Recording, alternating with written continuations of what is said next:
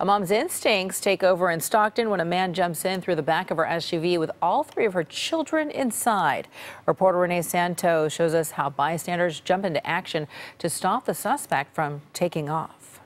He started um, hitting my mom. Isaiah says he was sitting in the back seat with his younger brothers when a man without a shirt on jumped into his mom's SUV. The family was delivering supplies to their taco truck on El Dorado Street near Hammer Lane at the time. I was in my my mom's car um, playing my game, and then out of nowhere, some guy just hopped into the back. In a moment of fight or flight, Patricia Ontiveros chose to fight back, hitting the suspect, even honking to alert her husband. My husband, he got his thumb bit. Surveillance video shows the tense moments as her husband and a group of Good Samaritans quickly snatched the suspect out of the SUV. We want them to do almost exactly what this mother did yesterday. Joe Silva with the Stockton Police Department says by the mother honking to get someone's attention, she likely saved her family's life. But she credits her husband and those Good Samaritans. I thank God it's a blessing that we're here and nothing happened. Imagine if he would have had a gun or a knife or something. Police arrested Elijah Cervantes for attempted carjacking, later discovering the suspect was on parole for robbery. The Ontiveros family is still healing from the traumatic experience, but is grateful for mom's quick thinking